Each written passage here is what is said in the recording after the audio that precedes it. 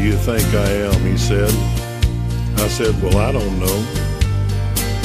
He said, I turned 65 about 11 months ago.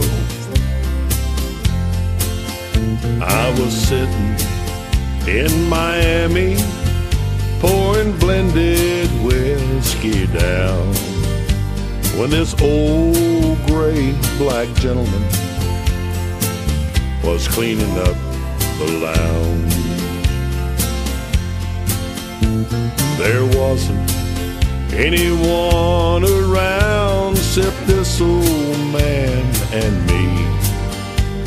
The guy who ran the bar was watching Ironside on TV.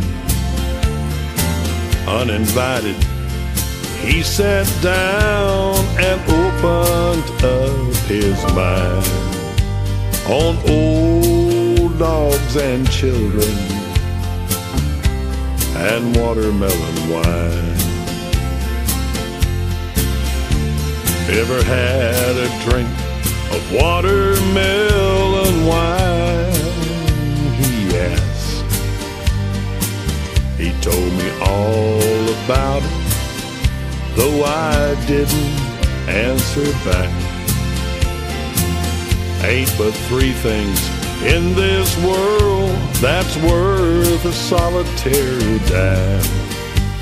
But old dogs and children and watermelon wine. He said, Women, think about themselves when menfolk ain't around. And friends are hard to find when they discover that you're down.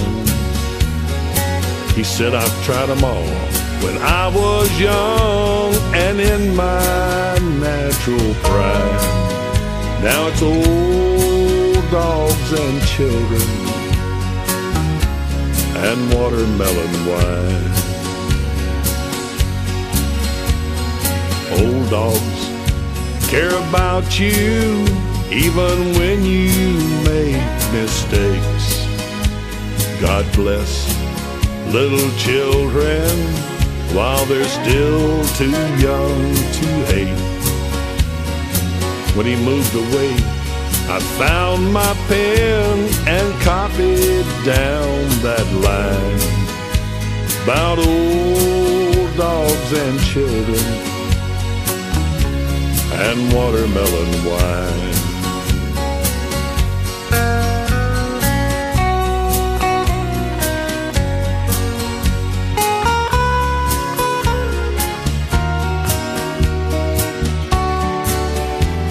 I had to catch a plane up to Atlanta that next day.